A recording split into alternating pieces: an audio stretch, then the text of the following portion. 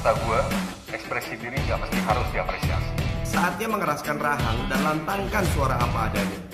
Gue cuma mau tunjukin diri gue sesuai dengan hati. Iya, gue, kata lo gimana? Glass Mile